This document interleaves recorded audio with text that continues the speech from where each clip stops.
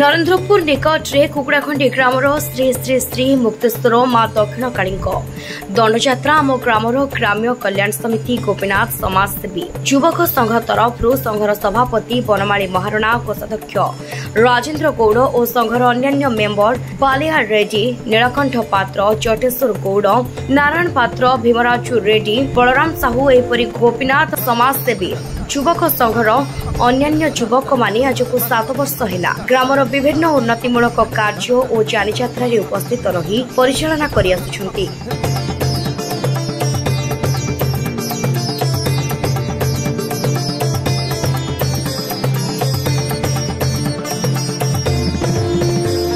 ଆଜିର ଏହି ଦଣ୍ଡ ନାଚରେ ଗ୍ରାମ୍ୟ କଲ୍ୟାଣ ସମିତି ଓ ଗୋପୀନାଥ ସମାଜସେବୀ ଯୁବକ ସଂଘ ଓ ସମସ୍ତ ଗ୍ରାମବାସୀ ଜନସାଧାରଣଙ୍କ ସହଯୋଗରେ ଉକ୍ତ ଉତ୍ସବଟି ପାଳିତ ହୋଇଯାଇଛି।